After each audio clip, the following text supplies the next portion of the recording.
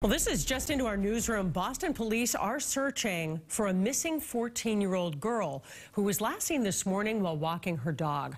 Police say Janell Escanola went out to walk her dog on Atlantic Avenue this morning and never returned. She was wearing glasses, a red jacket, and black pants. If you have any information, please call police.